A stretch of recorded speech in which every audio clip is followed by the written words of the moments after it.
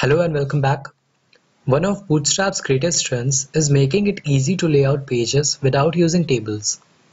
And that is where Bootstrap shines because Bootstrap is going to give us a grid system. And so it's going to behave like a table. We are still going to have rows, we are still going to have columns, but it is going to use CSS to lay everything as opposed to using tables. And there's a little bit of a learning curve with the grid system and that's what I want to spend this video about. So let's talk about the Bootstrap grid. So like we mentioned, Bootstrap layouts are going to work on a grid. Now the grid is going to have 12 columns.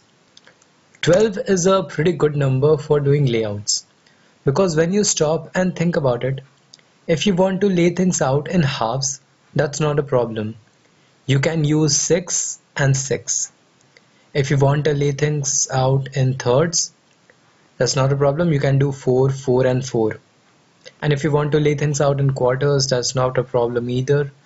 You can just go on and try simply 3 3 3 and 3 12 does wind up working very well for being able to lay out pages.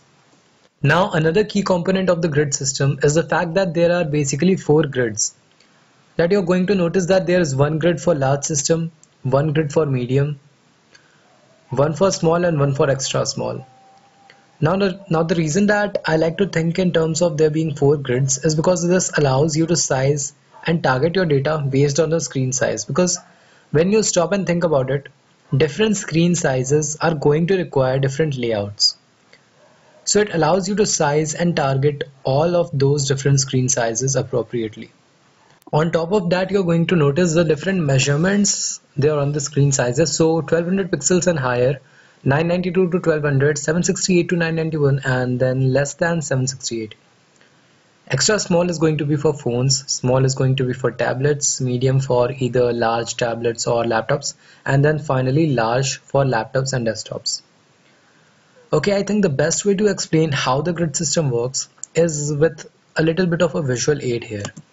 So you are going to notice that what I have represented here is all of the different screen sizes that we have available to us.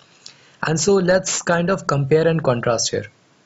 So you will notice that on each one of my grids here that I've got 12 columns across.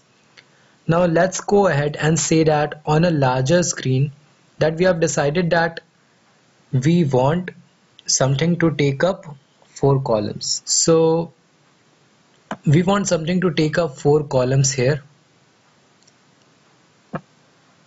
Well, when we go down to a smaller screen, you are going to notice that four columns here. That's not going to wind up being very big. And so if I want this to be more readable, what I want is the ability to do is say add two more.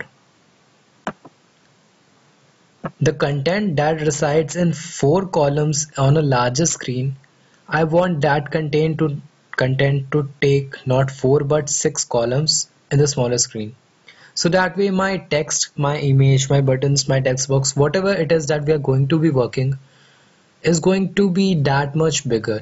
So the ability to be able to say all right well on a large screen I only need to take up that much space but on a smaller device I want to be able to take up a lot more space. That is extremely powerful Okay, so how we use the grid system is in the following way. We use column classes. The structure of a column class is col dash grid size dash number of columns. Here the grid size is denoted by LG for larger screen, MD for medium, SM for small and XS for extra small. So let's take a look at an example. We use the css class of the bootstrap file col dash lg dot dash x in the given div tag. So that will take up six columns on larger screen that is greater than 1200 pixel.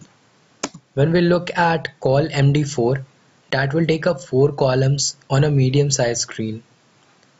Similarly col sm6 will take up 9 columns on a small screen size.